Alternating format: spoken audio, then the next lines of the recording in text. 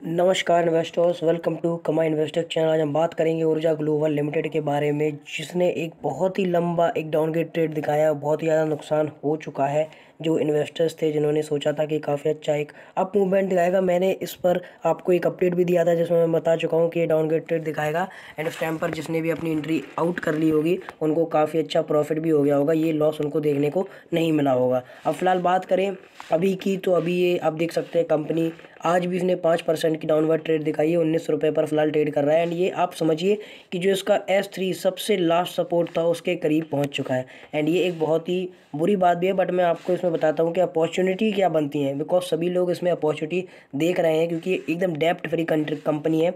And ये काफ़ी अच्छी बन सकती है आगे चल के एक मल्टी बैगर तो उसके लिए फ़िलहाल हमें क्या करना चाहिए? एक शॉर्ट टर्म प्राइसिंग एक ईयर के टारगेट को लेकर या एक मंथ के टारगेट को लेकर हमें इसमें क्या बनाना चाहिए, अपना एक अपॉर्चुनिटी वो आज देखेंगे जो होल्ड किए हैं, उनको क्या करना चाहिए एंड जो फ़िलहाल बाय करने की सोच रहे हैं, उनके लिए क्या अपॉर्चुनिटी बनती है? चलिए इस वीडियो में हम यही बात करते हैं। फ़िलहाल इसकी ये सब चीज़ें आप जानते होंगे market cap and P ratio face value ये सब एक जनरल चीज़ें हैं जो कि आप सब जानते होंगे। बस मेन बात कर लूँ तो आप अभी भी देखिए profit growth six point forty four percent की दिखा रहा है, जो कि एक कह सकते हैं मिनिमम ग्रोथ है बट ये फिर भी पॉजिटिव पॉइंट है कि ये ग्रोथ फिर भी दिखा रहा है। एंड अगर बात करें इसकी हम जो मेन पाइवोट लेवल्स हैं तो वो भी फ़िलहाल ब्लॉक हो चुके हैं बिकॉज़ ये अपने सबसे लोअर सर्किट सबसे लोअर सपोर्ट पर ट्रेड कर रहा है। चलिए आपको मैं वो भी दिखा देता हूँ एंड इस पर अपॉर्चुनिटी फ़िलहाल जो बनती है, क्योंकि जब प्राइस नीचे आता है तो अपॉर्चुनिटीज़ बहुत बनती है कि स्टॉक पर जो कि फंडामेंटली स्ट्रॉन्ग होता है। और ये स्टॉक फंडामेंटली स्ट्रॉन्ग है एंड बट इसमें जो फ़िलहाल एक टेक्निकल एनालिसिस और टेक्निकल चीज़ें जो डाउनग्रेड ट्रेंड देखने को मिल रहा है, उस पर हम बात करेंगे। फंडामेंटली तो आप सब जानते हैं स्टॉक काफ़ी अच्छा है।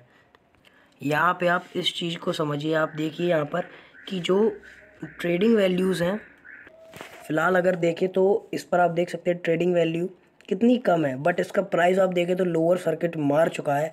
एंड ये बिकॉज़ ऑफ़ इसके जो अंदर की कंपनीज़ की खबर है और अंदर की कंपनीज़ की प्रॉब्लम्स हैं, उनकी वजह से ये हमको देखने को मिल रहा है। एंड अगर हम अपनी बात करें तो देखिए, एक बहुत ही महत्वपूर्ण चीज़ यहाँ पे देखने को मिल रही है कि ये इसका लास्ट सपोर्ट बना हुआ है इस जगह पर।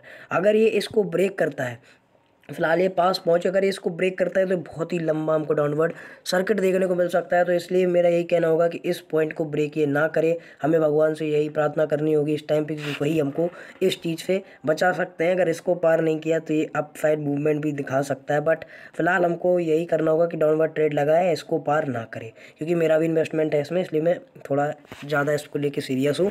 एंड अगर बात करें फ़िलहाल बाइंग अपॉर्चुनिटी की तो आप कुछ दिन रुकिए, इसको देखिए। यहाँ पर अगर ये इस लेवल को ब्रेक ना करके एक अप मूवमेंट दिखाता है उस दिन के अराउंड तो आप इसको बाय कर सकते हैं। अच्छा खासा एक दो रुपये चार रुपये का प्रॉफिट बना के एंड बाहर भी निकल सकते हैं। एक लॉन्ग टर्म नज़रिए से बता रहा हूँ। अगर आप समझ रहे हैं कि मुझे एक एक शॉर्ट टर्म नज़रिए से बताया था मैंने ये लॉन्ग टर्म नज़रिए से सोच रहे हैं तो बिल्कुल इसको बाय करके और छोड़ दें, बिल्कुल जो रुपये लगाएँ, उसको ध्यान ही मत दे कि मैंने ये रुपये लगाया था। ये सोचिए कि मैंने वो रुपये कहीं पर डाल दिया है एफ़ करके वो जो भी होगा फ्यूचर में, वो देखा जाएगा। तो वो एक लॉन्ग टर्म नज़रिए से आप इसमें ज़रूर बना सकते हैं बिकॉज़ कंपनी फंडामेंटली काफ़ी स्ट्रॉन्ग है।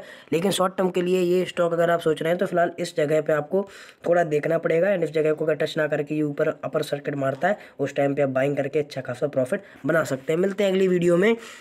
घबराइए नहीं, स्टॉक अभी तो फ़िलहाल एक टाइम है, हमारे पास एक मौका है इस चीज़ को ना ब्रेक करने का। अगर इस चीज़ को ब्रेक नहीं करता है तो हमारे लिए अच्छी खबर है, नहीं तो फिर बहुत ही ज़्यादा बुरी भी खबर हो सकती है। चलिए, मिलते हैं अगली वीडियो में किसी और स्टॉक के साथ इसे एनालिसिस करके। अगर आपको वीडियो में थोड़ा भी इन्फॉर्मेटिव लगा हो कि हाँ ये मेरे काम की वीडियो तो please like to this video and also subscribe to this channel for more updates on more stocks जो मैं आगे चल के लाता रहूँगा आपके लिए। तो चलिए, मिलते हैं अगली वीडियो में। शुक्रिया, आदाब।